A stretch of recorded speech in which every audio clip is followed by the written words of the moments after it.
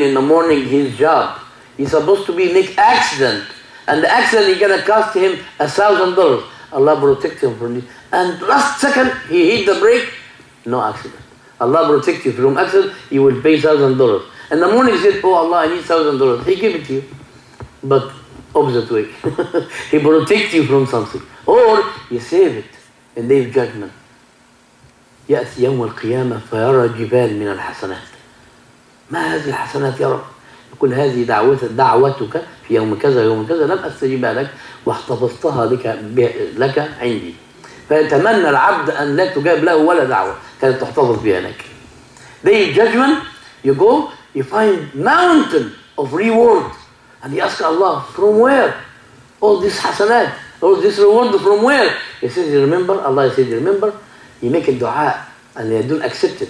I keep it here. I accept the dua, but I don't give it to you right away, immediately. I, I save it for you. Wow, a mountain of reward. And the slaves, of mankind at this time, you hope, no da'wah, accept.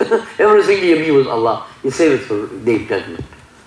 uh, dear brothers in Islam, the Sahaba came to Rasulullah sallallahu alayhi wa sallam and Rasulullah advised the Sahaba, the company of Rasulullah, أكثروا من الدعاء. Make a dua a lot, as much as you can. And he says, uh, uh, Allah subhanahu wa ta'ala, He give you, like I said, three kinds of dua. He give you immediately, accept the dua, and He give you whatever you ask. Or you protect you from the same thing, or you save it for the hereafter. And Allah subhanahu wa ta'ala accepts the dua 100%. The Sahaba said, then we make a lot of dua. إذا يا رسول الله نكسر يا رسول الله. قال الله أكثر. Subhanahu wa ta'ala more than that. Ask whatever you ask, Allah will give you. أن الله لا يمل حتى تملون. Subhanahu wa ta'ala, He never give up. Ask. Whatever you ask, Allah will give you. As the hadith said, inshallah.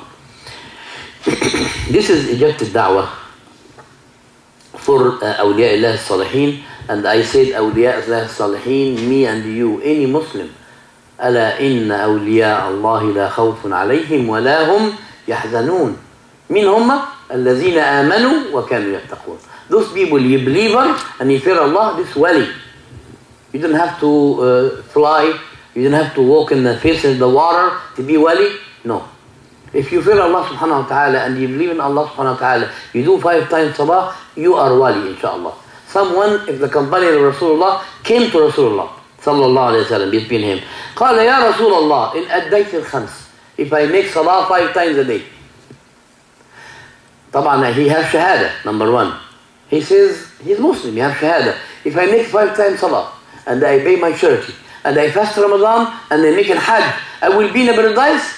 He says, yes. صلى الله عليه وسلم he says yes if صليت الخمس وأديت الزكاة وصمت شهري وحججت بيت الله أكون في الجنة قال نعم وحين انصرف قال الرسول صلى الله عليه وسلم أفلح إن صدق after the guy he asked this and the Rasul approved صلى الله عليه وسلم Muhammad approved عليه الصلاة والسلام he says yes after the guy left he says he will be winner if he did this if he be reality, sincerely, and he did it, he would be winner.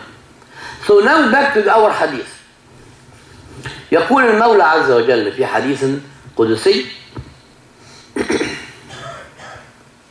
اللهم صل وسلم وبارك على سيدنا محمد.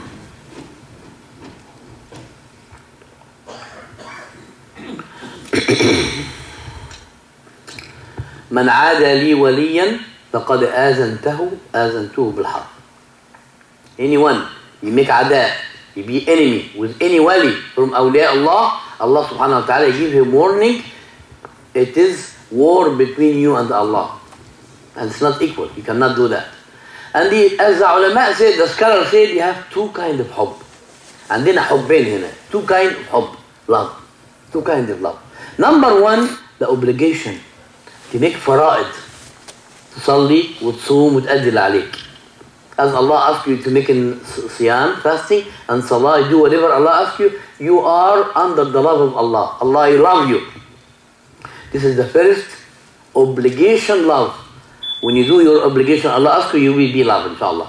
افعل تفعل لا تفعل لا تفعل يحبك المولى عز وجل This is the first love The second love وما زال وما زال عبدي يتقرب إلي بالنوافل حتى أحبه Allah subhanahu wa ta'ala said أحبه I love him Who this? The one you come close to Allah by nawafil I pray alhamdulillah maghrib three rakat What about sunnah? I pray sunnah Allah I love you more He already love you first time by fard the maghrib by isha four rakat That's it He love you But the second love يقول يجني ثمار المحبة The one you're gonna collect all the good stuff from the nawafil If you need to know someone how strong in the iman look in his nawafil not farida Everybody do farida alhamdulillah You pray five times a day But who's the one you make in nawafil You stand up in the night time and you pray You finish the farida and you pray the sunnah This is the one Allah subhanahu wa ta'ala you love him You love him close to very close يضحك المولى عز يضحك المولى عز وجل لعبده كان يسير مع رفقائه حتى عرسوا عرسوا يعني حطوا الخيم بتاعتهم وكانوا أشد ما يشتقون إلى النوم تعبانين فناموا بعد ما عرسوا حطوا الخيم ناموا جميعا إلا واحد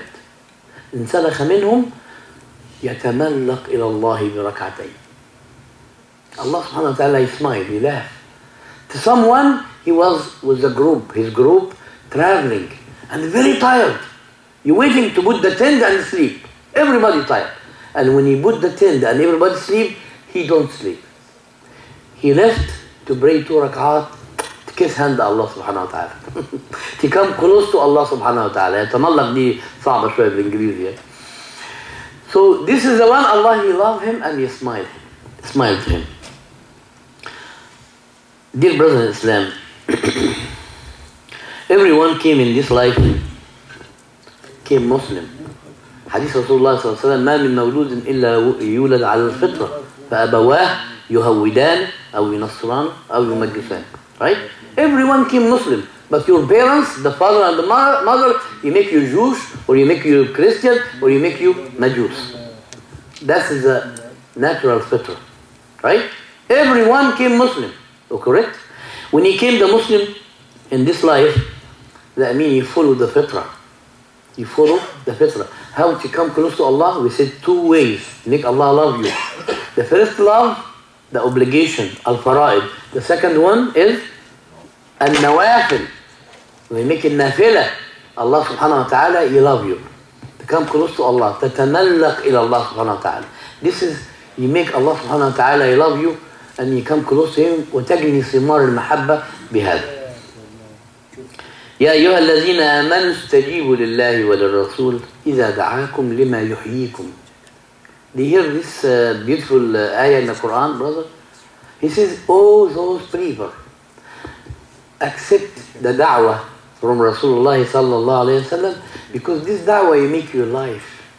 That means the opposite meaning if you are not follow Rasulullah, if you are not follow the da'wah of Rasulullah, if you are not worship Allah as order you, you are not life. You did. Like zikr. Some people you make in zikr, some people you don't make zikr. Zikr, subhanallah, Allah, subhanallah. Right? وَمَا خَلَقْتُ الْجِنَّ وَالْإِنسَ إِلَّا لِيَعْبُدُونَ Allah created the jinn and the ins to worship Him. And you make a zikr. الفرق بين ما ما يذكر ومن لا يذكر كالفرق بين الموت والحياة كالفرق بين السمك في الماء وخارج الماء exactly the different كما قالوا بين مسابح الأسماك ومفالك ومدار الأفلاك يعني بين السماء والأرض the difference between one you worship Allah and you make zikr the exactly different between one die and one life exactly different between fish one fish inside the water and outside the water as the ulama said subhanallah واعلموا أن الله يحول بين المرء وقلبه